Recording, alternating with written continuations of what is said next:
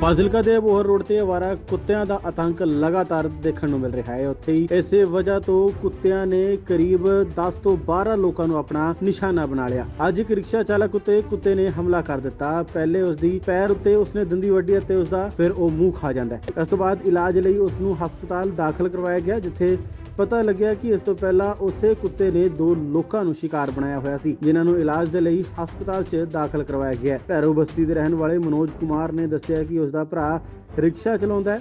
Abohar road ਤੇ ਜਾ ਰਿਹਾ ਸੀ।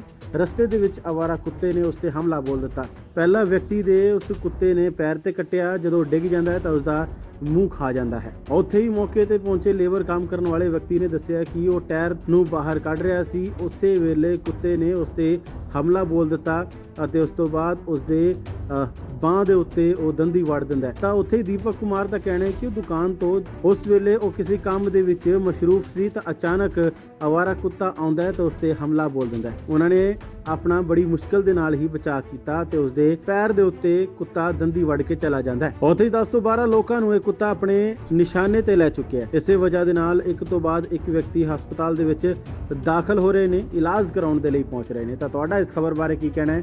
ਸਾਨੂੰ ਕਮੈਂਟ ਕਰਕੇ ਜ਼ਰੂਰ ਦੱਸੋ। ਇਹਨਾਂ ਨੂੰ ਜੀ ਕੁੱਤਾ ਕੱਟ ਗਿਆ ਜੀ ਅਬੋਰੀ ਰੋਡ ਤੇ। ਅੜਕਾ ਕੁੱਤਾ ਜੀ 10 12 ਜਣਾਂ ਨੂੰ ਕੱਟ ਗਿਆ ਜੀ।